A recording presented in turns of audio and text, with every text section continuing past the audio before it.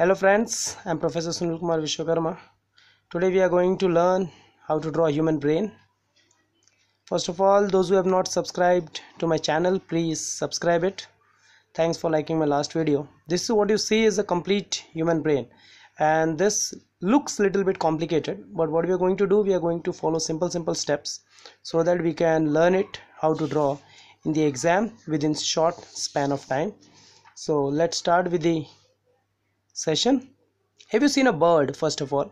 So whenever you see a bird a bird has a beak. So let's take this to be the beak of the bird. Now draw the stomach of the bird. This is the stomach. Now take a straight line and this is the entire bird right?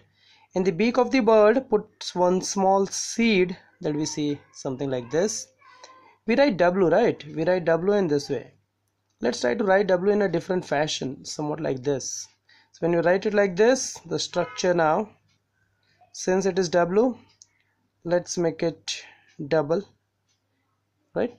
In the center put one small stick and one small seed like structure.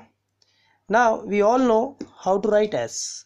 When we write s we write it in this way let's make it a little bit more stylish. Somewhat like this. Draw half s. Now when you draw half s the structure becomes somewhat like this. Make it a little bit thick so that it will appear like corpus callosum.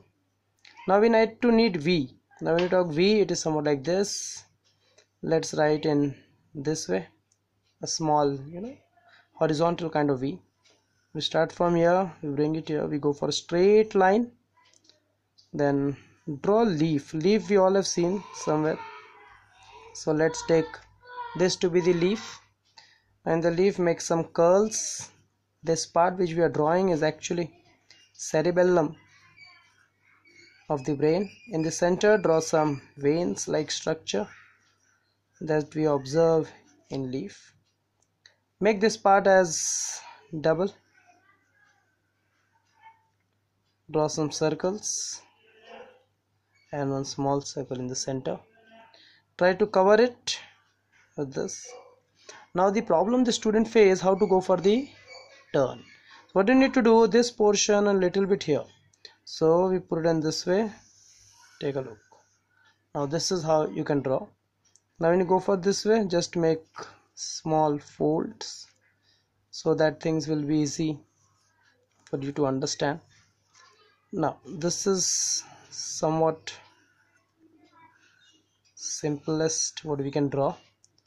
Now we need to understand we have all drawn flying birds. So let's take this to be the flying birds. Something like this like this. And this is what we are going to use to make the folds that we normally see in the brain now as far as the labeling is concerned we need to label each and every part of the brain so let's try and understand. Now this is what is brain all about. So whenever we do the labeling this is the largest portion of the brain. So we call it as cerebrum. This is the cerebellum second largest part of the brain.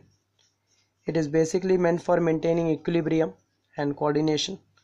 This part that we see is called as pons varolii now pons varolii is basically for reflex action of breathing. This lowermost portion that we see is medulla oblongata one of the most important part of the brain because a sudden injury to medulla oblongata can even lead to death. The part which has extended here like this it is called as spinal cord. So basically extension of medulla oblongata is the spinal cord.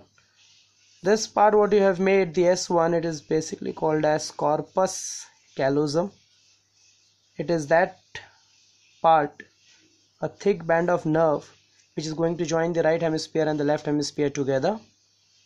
This what you have drawn is pituitary gland one of the master gland. Now when you go for various lobes of the brain so this is FL frontal lobe. The one facing the sun is PL parietal lobe. The one here behind is OL occipital lobe and the one here at this side is called as TL temporal lobe. So this is how you can draw brain in a simplified form. Please don't forget to subscribe my channel. Thank you very much